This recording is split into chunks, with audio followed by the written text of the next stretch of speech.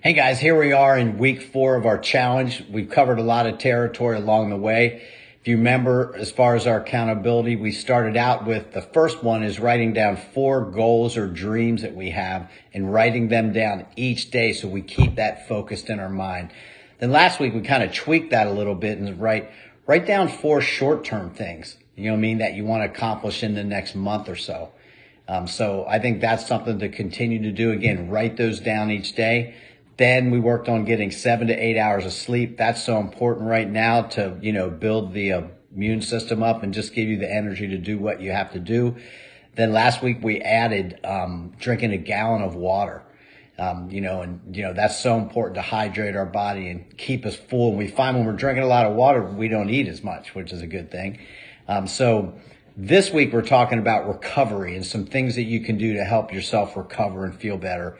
Um, so we got um, below here, there, there's um, three YouTube videos of one's a 10 minute meditation, which that's the one I would suggest for us to do because the next one is yoga and stretching. We kind of do both of those.